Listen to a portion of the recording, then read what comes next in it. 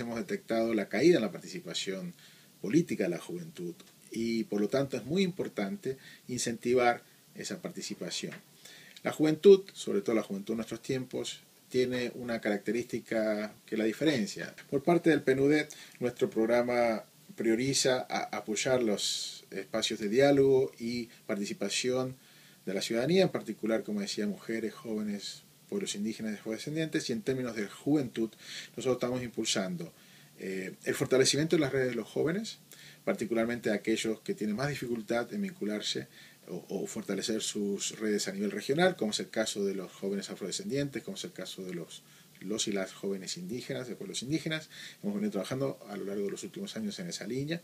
Y por el otro lado, fortalecer las capacidades de los líderes jóvenes en general, también en particular esos grupos de población, a través de diversas instancias de capacitación,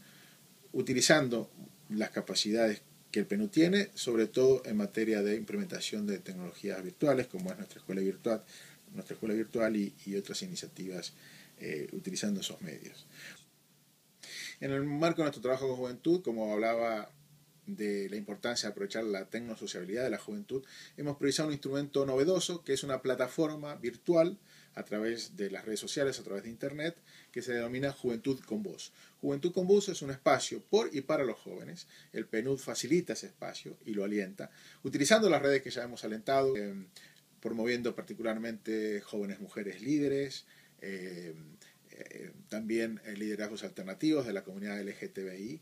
y por lo tanto, este es un espacio que está creciendo muy rápidamente. Hemos comenzado con él hace apenas dos meses. Más de 5.000 jóvenes se han vinculado al mismo a lo largo interactuando mediante estas redes y a través de este instrumento no solamente es un espacio de intercambio, sino lo que se busca es potenciar la voz de los jóvenes, que participen y se integren y desarrollen una agenda juvenil para la región en materia de gobernabilidad democrática y de desarrollo humano y también un espacio donde los jóvenes pueden intercambiar opiniones, pero también fortalecer sus capacidades dado que tienen un amplio acceso a materiales en los diversos temas que preocupan a los jóvenes